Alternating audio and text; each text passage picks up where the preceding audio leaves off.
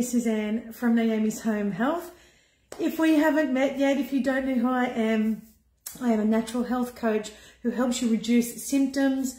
I specialise in thyroid and autoimmune disease healing, but I also help people gain healthier lifestyles and long-term well-being by um, creating new habits. So, do you rest without guilt? This, so this morning I did a, a video on my story of, you know, how I was so sick and I've healed myself and now I'm helping others do the same. Basically, one of the things that I did not do for a very long time while I was really unwell is resting without guilt. I didn't even rest. Like, didn't even rest at all. I was sleeping two hours a night for a couple of years and I'd get up, you know, go and do everything for the kids, make sure the house was tidy. So I told you earlier this morning that I was a nutcase. made sure the house was tidy, made sure a cooked meal was on the table every single night. There was no like, you know, toast for dinner or anything like that. It's like a meal and um, beds made, kids' rooms are tidy. I was struggling big time. Drop it in the comments if you rest without guilt. And I'm not talking just sitting scrolling through Facebook. That's not rest. We want to rest the mind, rest the body.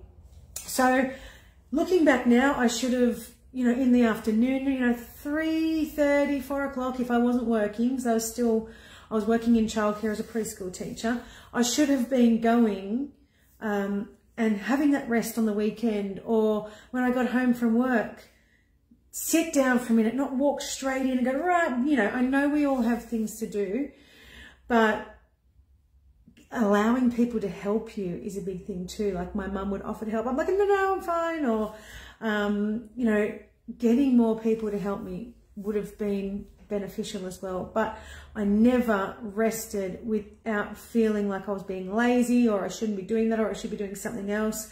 My mind was always going elsewhere. So what I have done recent, like in the last few years, if I'm not feeling well for whatever reason, I might, you know, you feel like you're getting the flu or you've had a big week and you've worked and, you know, really, really hard and then you've taken the kids here and there and sometimes you're just like, oh my God, I need to chill. So I actually do that. I've sit down now and maybe read a book or I just go and lay down and close my eyes. You don't even have to sleep, but resting is the most is the most restorative thing that you can do. If you can fall asleep, that's even better, particularly if you're not sleeping. So I used to have the mindset, oh, I'm not sleeping at night. So if I, if I sleep in the afternoon, I won't sleep tonight. And I wasn't sleeping anyway. So I should have changed that mindset of, I'll get the rest whenever I bloody can because I'm not sleeping at night.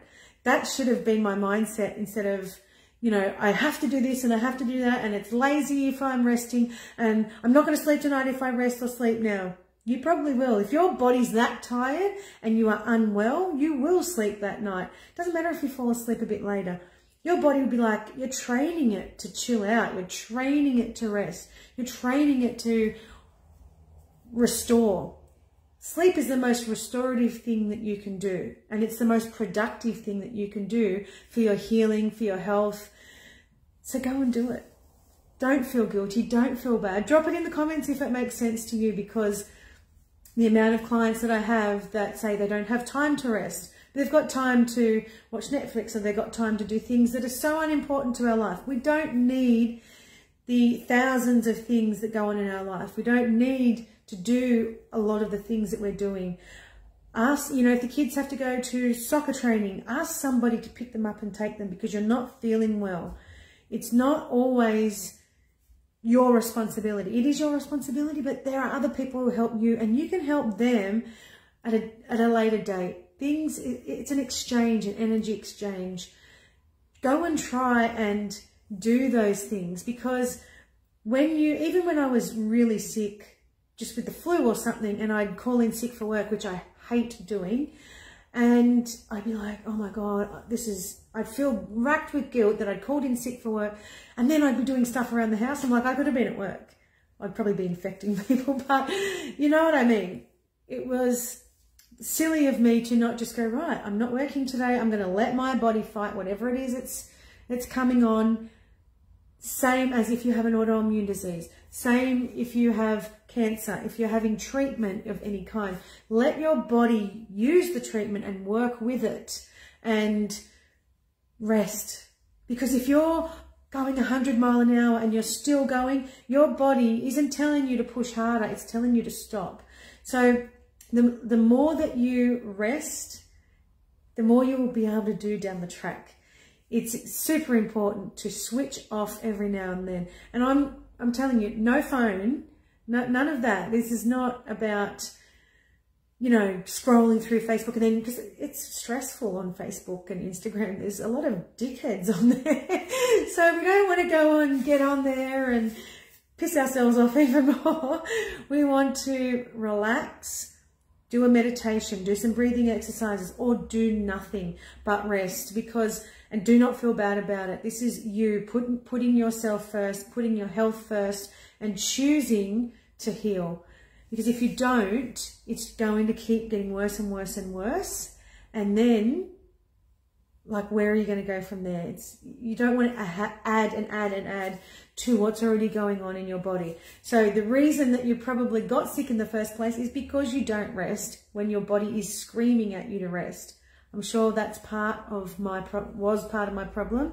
I never rested. I never did those things. I burnt the candle at both ends and it made my life much harder.